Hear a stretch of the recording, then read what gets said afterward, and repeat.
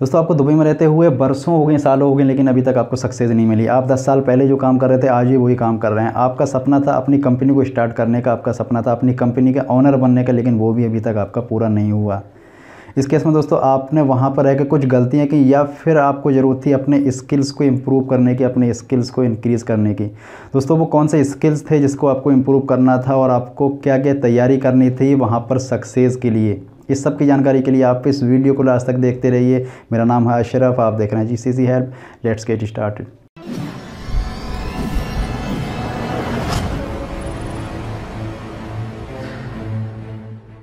दोस्तों, दुबई जैसी कंट्री के अंदर सक्सेस मिलना कोई बड़ी बात नहीं है। वहाँ पर हज़ारों लाखों कंपनीज़ हैं और आए दिन नई नई कंपनीज़ खुल रही हैं और डे बाई डे वो सक्सेस की तरफ़ बढ़ रही हैं। आप भी अगर दोस्तों कुछ एक्स्ट्रा दिमाग लगाते हो इंटेलिजेंस लगाते हो तो आप भी सक्सेस वहाँ पर बड़ी आसानी से पा सकते हो।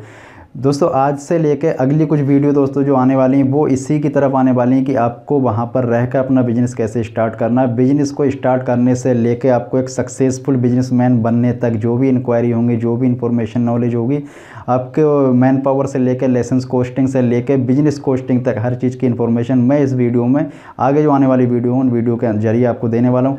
लेकिन फ़िलहाल इस पहली वीडियो में आपको ये बताने वाला हूँ कि वहाँ पर सक्सेस के लिए हमें क्या करना है। मैं आपके लिए लेकर आया हूँ दस इंपॉर्टेंट टिप्स अगर आप इन पर अमल करते हैं डेफिनेटली आपको सक्सेस मिलेगी। जिसमें दोस्तों सबसे पहला जो टिप्स होता है ना, वो होता है we honesty hard working and intelligent आपको ईमानदार रहना है, आपकी जो इमेज है ना, वो दूसरों के सामने as a honest person show होनी चाहिए, ताकि जब भी आप अपना कोई प्रोडक्ट लेके जाते हैं या अपनी कोई भी सर्विस उनके पास लेके जाते हैं, वो आप पर फटाक से बिलीव कर सकें। सबसे बड़ा मंत्र होता है बिज़नेस को स्टार्ट करने का। दूसरा दोस्तों, मैंने आपको बताया था कि आपको हार्ड वर्कर होना, यानी कोई भी काम अगर आपको मिलता है ना, उसको चुटकियों में करना है, क्योंकि वहाँ पर सर्विस बहुत तेज़ जिसकी होती है, जिसकी क्वालिटी अच्छी होती है, या फिर जिसके प्राइस बढ़िया होते हैं वही टिकता है, बाकी के सारे लुढ़क जाते हैं। तीसरी बात दोस्तों, आपको बुद्धि यूज़ करना है इंटेलिजेंट होना है। यानी जो सारे लोग बेच रहे हैं, आपको भी उसी की तरफ़ नहीं जाना, आपको कुछ यूनिक लेके जाना है, कुछ डिफरेंट लेके जाना है डिफरेंट किसी भी तरह से हो सकता है। आपके प्राइस में, आपकी सर्विस में, आपकी क्वालिटी में किसी भी तरीके से आप डिफरेंट रह सकते हैं और अपनी कंपनी को फटाक से ग्रो कर सकते हैं। दूसरे टिप्स में हम बात करते हैं दोस्तों, आपको एक प्लान बनाना है, अपना एक गोल सेट करना है। यानी आपको अगर बिज़नेस करना है, उस बिज़नेस की कॉस्ट कितनी होगी टोटल बिज़नेस की कॉस्ट कितनी है, या फिर उस पैसों का अरेंजमेंट आपको कहाँ से करना है। आपकी फाइनेंशियल कंडीशन को देखते हुए उस प्लान को आपने किस तरीके से इम्प्लीमेंट करना और कब तक आप उस प्लान को इम्प्लीमेंट करने में कामयाब होते हैं। इस सबको करने के लिए, अपने प्लान को सेट करने के लिए आप कभी भी लोन नहीं लेंगे, क्योंकि लोन का लिया हुआ पैसा आपके लिए एक बड़ा हेडेक है, बड़ी सरदर्दी है और ये आपको बिज़नेस की तरफ़ ना ले जाकर एक हेडिक की तरफ़ लेके जाएगा और आपके डूबने के चांसेस भी कुछ ज़्यादा होते हैं। तीसरे टिप्स में दोस्तों हम बात करते हैं कि अगर आपका प्लान थोड़ा लंबा है, यानी आप बिज़नेस करना चाहते हैं, लेकिन उसके लिए आपके पास मनी की अरेंजमेंट नहीं हो रही, उस केस में दोस्तों आप जो काम कर रहे हैं, लगातार कंटिन्यू उसी तरीके से करते रहिए। उसके अलावा आपको डिफरेंट वे सर्च करने हैं पैसे कमाने के, यानी दूसरे, पैसा कमाने के दूसरे रास्ते भी सर्च करने ताकि थोड़ा इधर से थोड़ा इधर से कई तरीके से घूम फिर कर पैसा आपके पास आप फटाफट से जमा हो जाए ताकि आप अपने प्लान को जल्दी से अचीवमेंट कर सकें। चौथे टिप्स में दोस्तों हम बात करते हैं make second source of income कभी भी, हमेशा के लिए एक चीज़ की गांठ बांधो कि हमेशा एक सोर्स ऑफ़ इनकम काफ़ी नहीं है अपनी लाइफ को सर्वाइव करने के लिए। अगर आपके एक पहिए की गाड़ी है, जिस दिन वो पहिया टूटा, उस दिन वो गाड़ी किसी काम की नहीं, वो कचरे के जैसे हो जाएगी। लेकिन अगर आपकी दो पहिए की गाड़ी है तो एक पहिए के सहारे आप उसको कैसे भी करके आगे तक ले जा सकते हैं। इसी तरीके से make second source of income आपकी इनकम का कोई दूसरा सोर्स ज़रूर होना चाहिए, चाहे वो किसी भी तरीके से आता है। आपका एक और सोर्स आपकी जॉब के अलावा, आपके काम के अलावा इनकम का होना ही चाहिए। पाँचवीं टिप्स की दोस्तों बात करते हैं, वो होता है इन्वेस्ट हाई रिटर्न प्रोडक्ट इसका मतलब ये हो सकता है कि ज़रूरी नहीं कि शेयर मार्केट में घुसा, वहाँ पर किसी कंपनी के शेयर को ख़रीदा हाई रिटर्न मिलेगा एक साल बाद भेज दिए। नहीं। अगर आपके पास कुछ पैसे हैं, कुछ भी एक्स्ट्रा पैसे थोड़े बहुत चाहो, वो एक रुपये ही क्यों ना है? आप उस एक रुपये का कोई भी प्रोडक्ट ख़रीद लीजिए छः महीने बाद अगर उस प्रोडक्ट की कीमत डेढ़ रुपये होती है या फिर दो रुपये होती है, आप उसको सेल कर सकते हैं। यानी आपको हमेशा हाई रिटर्न प्रोडक्ट में इन्वेस्ट करते रहना, अपने पैसों को अपने अकाउंट में सेव नहीं करना है। छठे टिप्स की बात हम करें, वो होती है दोस्तों कंट्रोल योर एक्सपेंस अपने खर्चों को कंट्रोल करें। जितना खर्चा आप डेली करते हैं थोड़ा सा कम करने की कोशिश करें, या फिर आपके पास कुछ भी चेंज है सेविंग कर सकते हैं उसकी, और उस सेविंग से आप कहीं अच्छी जगह इन्वेस्ट कर सकते हैं, जहाँ पर आपको हाई रिटर्न मिल सके। सातवें टिप्स की बात करें दोस्तों, ये होता है लर्न फ्रॉम अदर मिस्टेक्स इसका मतलब होता है कि दूसरों की गलतियों से सीखें।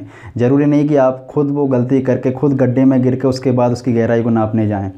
दूसरा कोई गिर चुका है, उसकी गहराई को उसी से अंदाज़ा लगा लेना कि इसमें कितनी गहराई है, मुझे इस रास्ते की तरफ़ नहीं जाना है। मैंने आपको दो टिप्स पहले वाले बताए थे कि इन्वेस्ट करना हाई रिटर्न प्रोडक्ट में और दूसरा आपको अपने खर्चों को कंट्रोल करके कुछ पैसे बचाना और उसमें भी आपको कुछ इन्वेस्ट की तरफ़ जाना चाहिए। इस केस में दोस्तों, ये तीसरा पॉइंट है इन सब के लिए कि आपको हमेशा दूसरों की गलतियों से सीखना, अपनी खुद की गलती नहीं करना, अपनी बुद्धि ज़रूर लगाना, खुद गिरने से पहले दूसरे अगर कोई गिर चुके हैं तो उस गड्ढे की तरफ़ आपको नहीं जाना है। आपको हमेशा सेफ़ वे की तरफ़ जाना है क्योंकि आपको पैसे कमाने हैं, गंवाने नहीं हैं।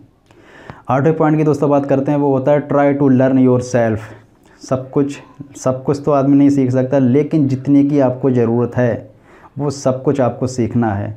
ऐसा नहीं कि आप किसी से पूछते फिर रहे हैं या फिर आप, आपका कोई काम है वो दूसरे लोग कर रहे हैं आपको कुछ भी नहीं आता आपका कुछ भी ज़रूरत पड़ती है फटाक से फ़ोन करें इससे पूछ रहे इधर भाग रहे हैं उधर भाग रहे हैं। सबसे पहले आपको खुद को ट्रेन करना ज़रूरी होता है। अगर आप एक टीम बिल्ड करते हैं आपका आप खुद एक लीडर हैं उस टीम के और अगर आपको ही कुछ नहीं आता आप टीम से पूछेंगे ये तो अपोजिट हो गया पूरा। आपको सबसे पहले खुद सीखना है उसके बाद एक टीम खड़ी करनी है जिसको आपको पूरी तरीके से ट्रेनिंग देनी है आप अपने तरीके से उसको सिखा सकें।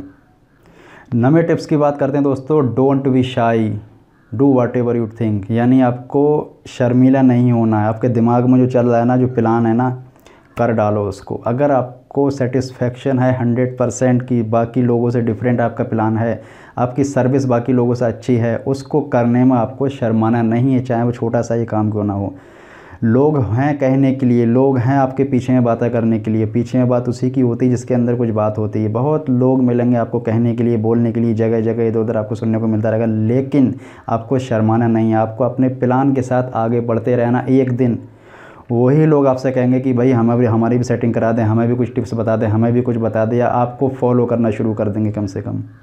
दोस्तों, दसवा और आखिरी टिप्स की अगर हम बात करें, वो होता है do practically whatever you plan, but with small amount.